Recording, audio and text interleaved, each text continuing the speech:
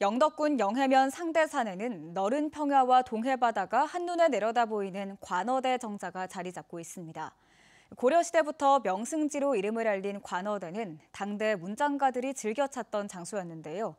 영덕군이 관어대의 역사문화적 가치를 재조명하기 위해 내년까지 59억 원을 들여 관광명소로 만들 계획입니다. 김형일 기자가 보도합니다. 영덕군 영해면에 위치한 해발 183m 높이의 상대산 정상입니다. 관어대에서는 고래불 해수욕장과 칠보산, 영해들과 송천강 등 사방으로 펼쳐져 있는 5대 절경을 감상할 수 있습니다. 고려시대 목원 이색은 이곳을 찾아 관어대란 이름의 유래와 함께 아름다운 주변 경치를 글로 남겼습니다. 목은 이색과 함께 조선시대에도 이연적, 김종직 등 당대의 문장가 30여 명이 상대산 관어대와 관련된 42편의 작품을 남겼습니다. 관어대가 기록에 나오는 것은 1300년부터 나옵니다.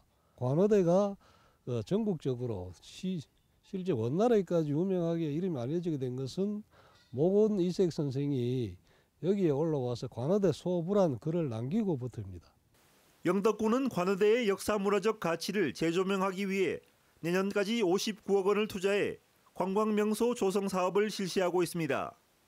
인근 고래불 해수욕장과 괴시리 전통마을, 블루로드와 연계한 힐링 명소로 관광객 편의시설을 대폭 확충하고 다양한 문화예술 프로그램도 기획할 예정입니다. 상대산 관어대 여기는 사색과 감흥의 공간 그런 테마로 서포터적인 부분과 아까 말씀드렸던 그런 관광적인 부분들을 결합해서 영덕 블루로드 테마로드 조성사업의 일환으로 내년도 하반기까지 저희들 완료할 계획입니다.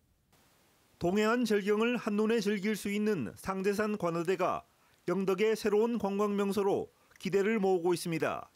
MBC 뉴스 김형일입니다.